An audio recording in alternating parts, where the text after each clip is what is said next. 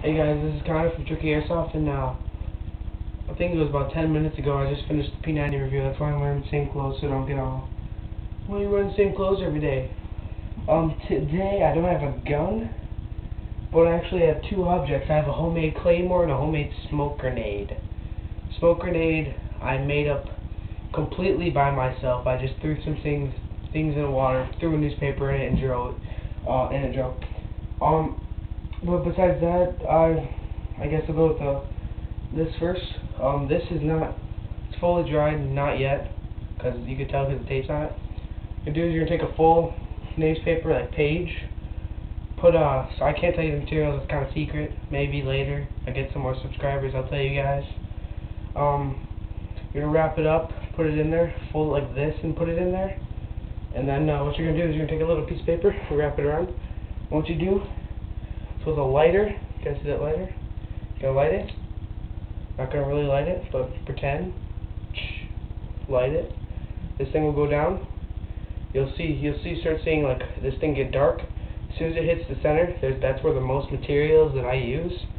And it'll start lighting out the sides with tons of smoke. Lasts about five minutes, so it's a good time to reload, do a lot of things, move out. Um, the best time when the the smoke is completely clear, like I mean, this, I'm sorry, you're not clear, like, blizzard, like, you can't see through it at all, is about two to three and a half minutes. So, yeah, I could show you some of that later. It's dark out, you couldn't see it, the camera would be, like, blind. Um, so next, the, uh, the Claymore.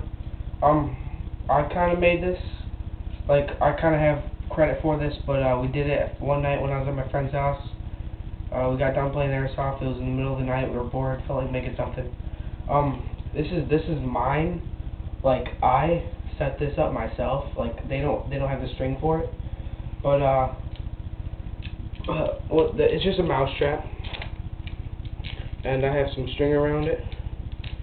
And uh, pretty much what it does is we have some duct tape around it, and uh, so what the duct tape does is you put some BBs in there you can either do it as a tripwire or as a polling machine. You snap this down and this goes boom. Pop some BBs up. So yeah, I'm about to do a I'm about to show you guys how that works. So yeah, this um this gives credit to Brendan and uh, Brendan and Kieran. Brendan uh, M and Kieran. There's only one Kieran. So yeah, this is for you guys we made this together. Um, so yeah, I'm about to set this up. It doesn't really matter what you put in, I put .12s because they go the farthest.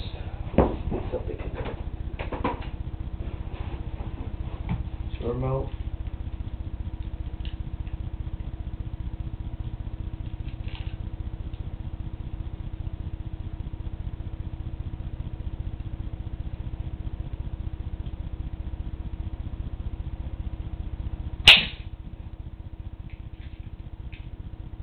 Always happens.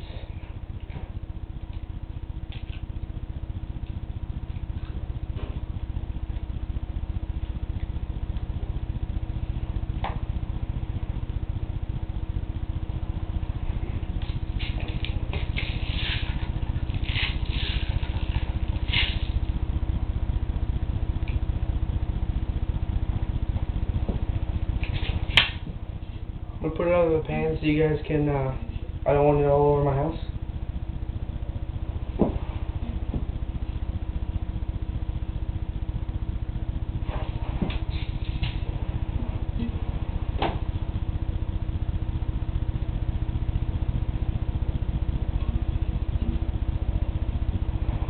Take the camera.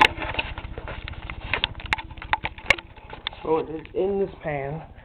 Here's the string and I'm about to pull it. You guys can listen to it. See how I'm gonna pull this.